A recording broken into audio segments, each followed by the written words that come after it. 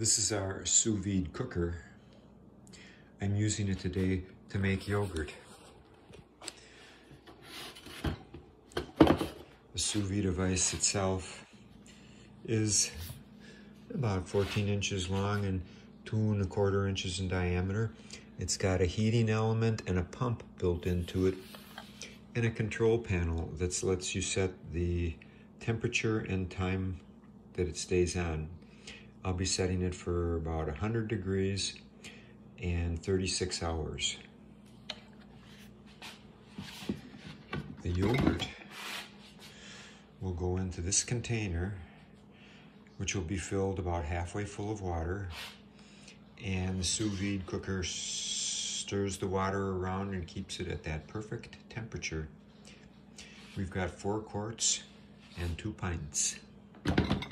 The other way to make this style of yogurt with long duration ferment is to use a yogurt maker. This is the Luvele one. It has a half a gallon uh, glass jar, or you can buy four pint jars. I wish I would have gotten the four pint jars, to be honest. Um, and then it's fill the bottom tray halfway full of water approximately set the time, set the temperature, just like the sous vide, 36 hours, 100 degrees, and voila, you will have delicious, creamy, thick yogurt. Here you can see some of the rest of the ingredients. There we got our organic, ultra pasteurized half and half. Inulin powder, it is a prebiotic this is what the yogurt culture will feed on when the sugar is gone. And this is a more expensive brand. This one you can get at the, the Health Nut, I believe, in Willy Street Co-op. This one I had to order online. And then we got a Whizzerator. This is to help mix it. It's more gentle than a um, some of the more vigorous models. Let's get started.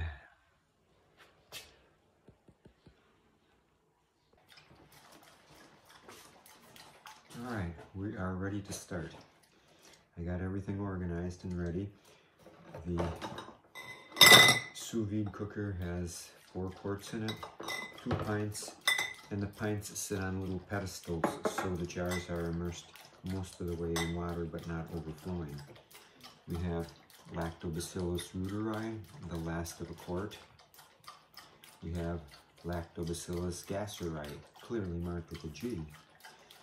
And to make this easy on ourselves, we'll start with the reuteri.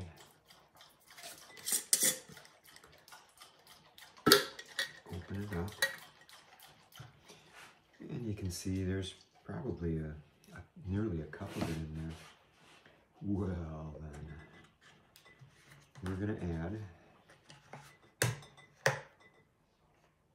you probably only need like two or three tablespoons, but this will make it go better and faster, I think. We're going to add some organic, ultra pasteurized half and half. We're going to add a tablespoon of inulin powder.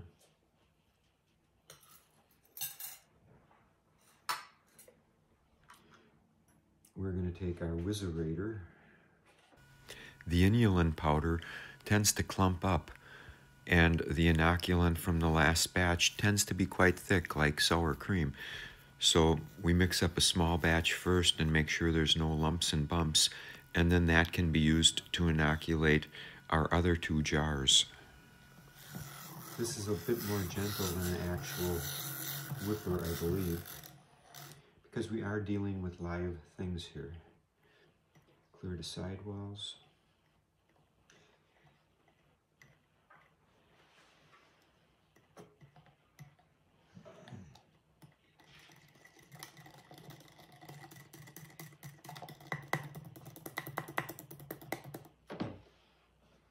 add some more half and half.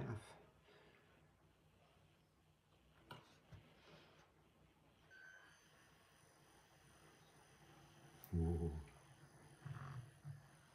Look at that. Way cool.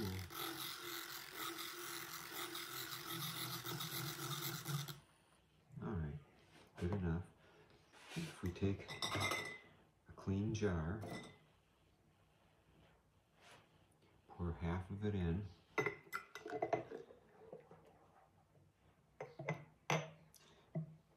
and fill the rest up with half and half. On target.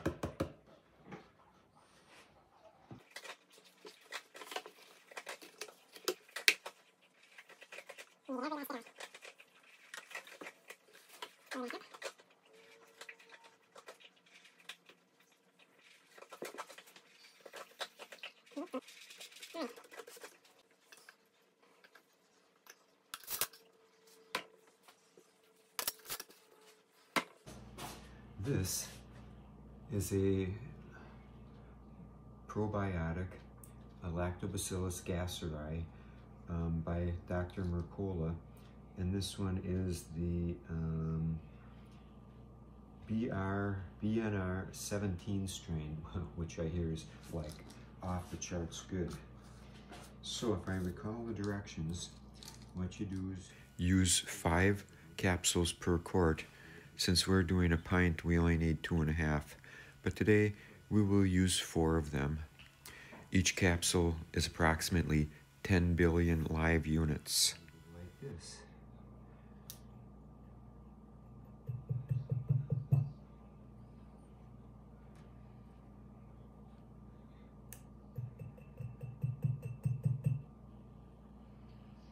This is how you would start a new culture that you got at the store. Only I probably should have sterilized my hands or pasteurized them a little bit, but I'm not that fussy and seems to turn out as long as you're clean. You don't. I don't think you have to be sterile. There, that's the culture in there. Now we add a little bit probiotics. That's prebiotics, you dummy. A prebiotic is the food for the bacteria that it utilizes um, after it's completely consumed all the lactose from the milk culture. Then we add our half and half. It's a lot easier to mix up the inulin powder and the culture in a small amount of half and half rather than a full jar full. This allows you to get a very homogeneous mixture.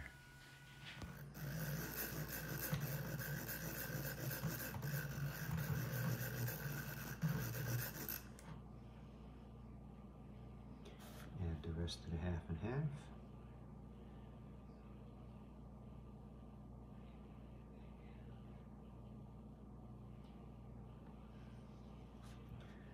I'm going to stir this by hand. Done.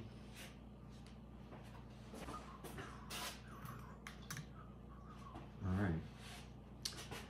Let's see, this one goes here.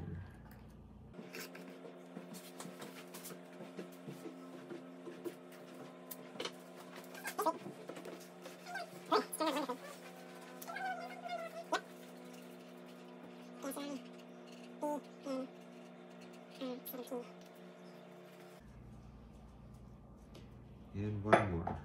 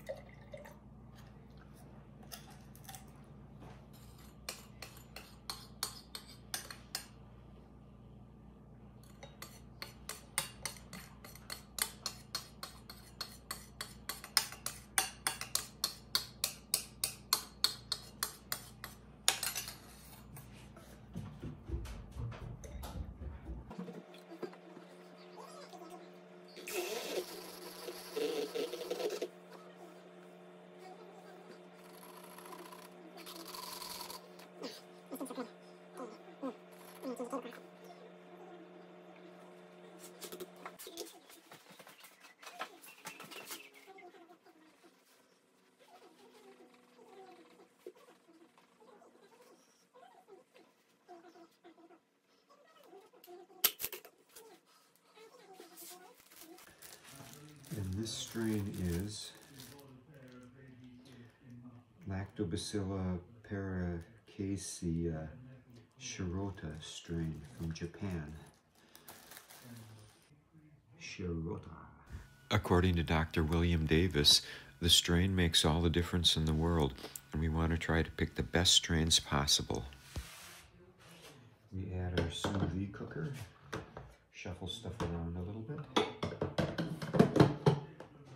Add our sous vide cooker, and if you look at the sous vide cooker, the water has to be above the inlet and outlet ports between this line, but not over that line. And so I'm going to set it in place, bring some water over.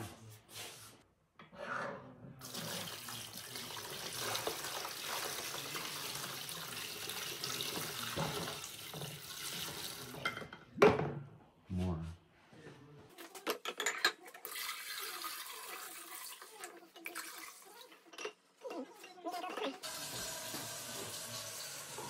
I'm using for risers so the jars don't sink below the surface are some clean bowls.